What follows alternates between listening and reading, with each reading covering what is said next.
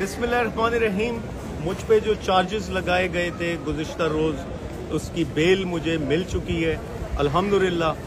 और जो पुलिस ने बदमाशी की वहाँ पर, मेरे घर पर आकर चार दीवारी का तकदस पामाल किया और ढाई सौ पुलिस जैसे कोई बहुत बड़े दहशतगर्द पैबलो एस्कोबार को पकड़ने आ रहे थे वहाँ। पूरी ज़िले की पुलिस लेकर आए मोबाइल बीस पच्चीस मोबाइलें लेके आए। इनके खिलाफ मैंने पटिशन दायर किया।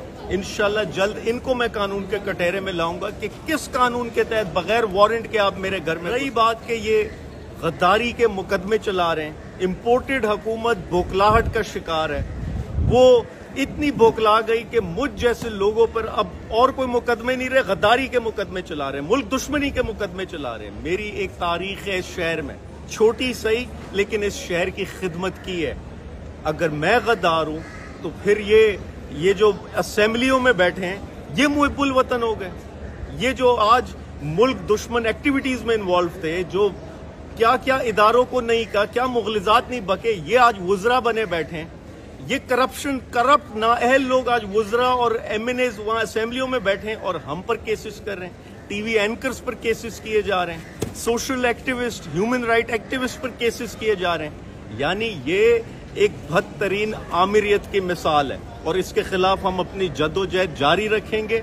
मैं ना पीछे हटूँगा। इम्पोर्टेड हुकूमत के खिलाफ ये तहरीक जारी रहेगी। इमरान खान की हिमायत में खड़े रहेंगे। और जो वीडियो का जवाब बनाया जा रहा, मैंने पहले कहा, ना हमारा कोई इरादा था, ना हमारी कोई नियत है इदारों की।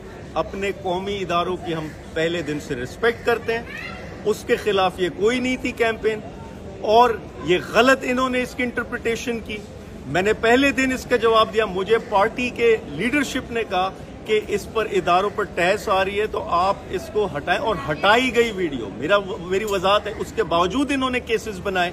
उसके बावजूद इन्होंने मुझे गद्दार साबित करने की कोशिश की तो इनशाला आप आए, अदालत में साबित करें कि कौन है गद्दार, कौन नहीं है। मेरे वकील हैं, ये बात करेंगे।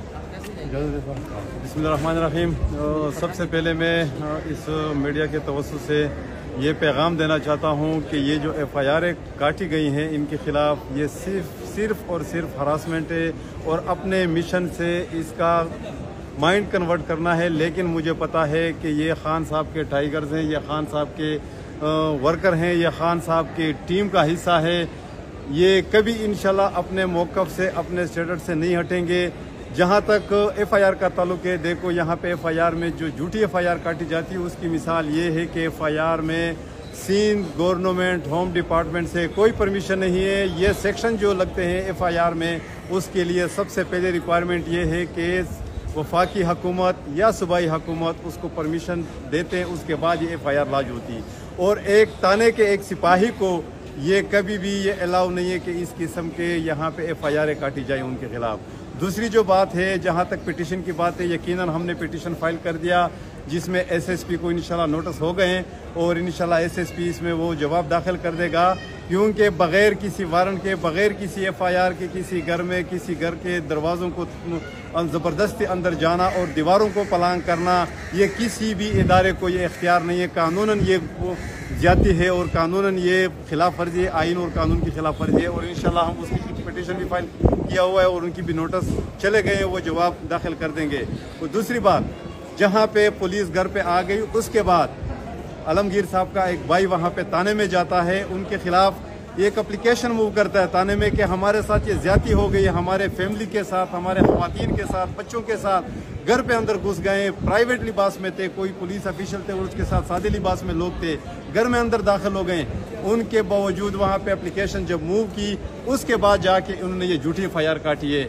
और यकीनन हम अदलिया पे भरोसा है और इन कोर्ट ने आज जमानत ग्रांट कर दी और इन इसको हम फेस करेंगे और झूठे मुकदमे जहाँ तक मर्ज़ी है बनाओ इन हम भागने वाले नहीं हैं इन ये खान साहब के सिपाही अपना मिशन पूरा करेंगे इन मैं आखिर में जो तहरीक इंसाफ के वर्कर्स थे, जो तहरीक इंसाफ की लीडरशिप थी, आपकी अजमत को सलाम, जिन्होंने मेरी फैमिली को हौसला दिया, जो मेरे घर के बाहर उन्होंने तीन दिन चौकीदारी की ड्यूटी दी तो आपकी अजमत को सलाम और इंसाफ लॉयर्स फोरम के तमाम वकला जो मेरे साथ खड़े रहे, एक दीवार की तरह उन्होंने आगे बढ़कर उन्होंने हिस्सा लिया।